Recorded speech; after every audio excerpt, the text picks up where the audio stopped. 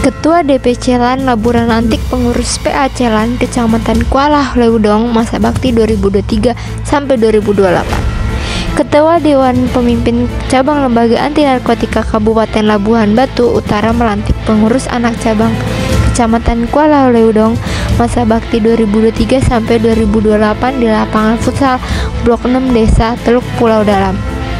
Sabtu Juni 2023 pada pukul 16.00 sampai selesai. Acara tersebut dihadiri oleh Wakapolsek Aibtu J. Semosir, Kepala Desa Teluk Pulau Dalam Johan Simbolon, tokoh masyarakat, tokoh adat, dan dari pendidikan. Sambutan Ketua terpilih Lembaga Anti Narkotika Kecamatan Leudong Lespor, Si Haloho, dengan sedihnya menyatakan sebenarnya saya sudah terpanggil dari hati di lembaga anti narkotika ini karena hati saya sudah sedih melihat anak-anak di bawah umur sudah terjerumus sebagai pemakai narkoba.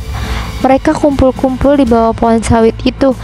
Sebenarnya mereka tidak paham dan tidak tahu bahwa itu berbahaya. Dengan tidak sengajanya urat saraf otaknya sudah rusak. Oleh sebab itu, saya sangat meniatkan dalam hati saya memberantas narkoba di kecamatan Kuauluha Leudong. Pertama, saya harus mengajar para bandarnya. Tambah ketua terpilih, kami juga meminta dukungan dan doa masyarakat Kuala Leudong dan bantuannya kalau ada keluarga atau tetangga pemakai narkoba supaya kita sama-sama menasehatinya supaya jangan terjerumus. Tutup ketua terpilih. Sambutan Ketualan Kabupaten Labura Muhammad Sewul SE dengan tegas menyatakan bangga dengan terbentuknya lembaga anti narkotika di Kecamatan Leudong.